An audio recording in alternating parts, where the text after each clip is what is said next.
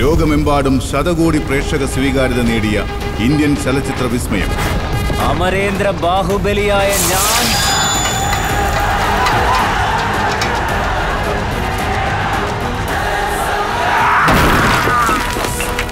നീ എന്തിനാണ് ബാഹുബലിയെ തലയിലേറ്റുന്നത് അവളെ അങ്ങ് കൊന്നുകളഞ്ഞാലോ വിസ്മയ വിഖ്യാത ചലച്ചിത്രം ബാഹുബലി ടു ഓഗസ്റ്റ് ഇരുപത്തിയേഴ് ഞായറാഴ്ച രാത്രി ഏഴ് മണി മുതൽ.